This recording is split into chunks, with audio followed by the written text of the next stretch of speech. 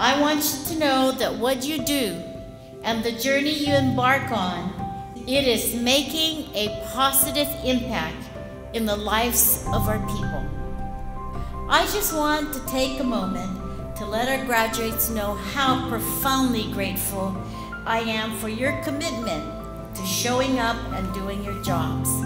You embody this very best of who we are, and I want to say from the bottom of my heart, thank you for stepping up to the task.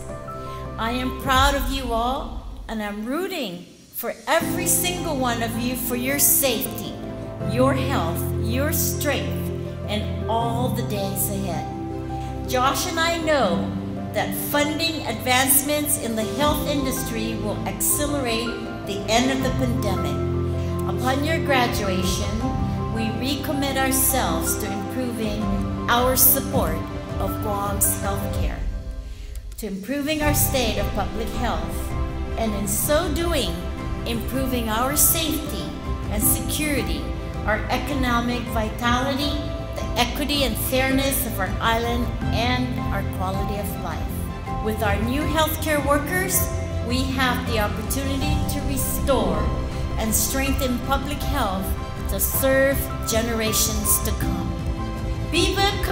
Healthcare Workers, Biba Guam Marianas Training Center, and Biba Guam, Undunkulu Nasadzuz Masit.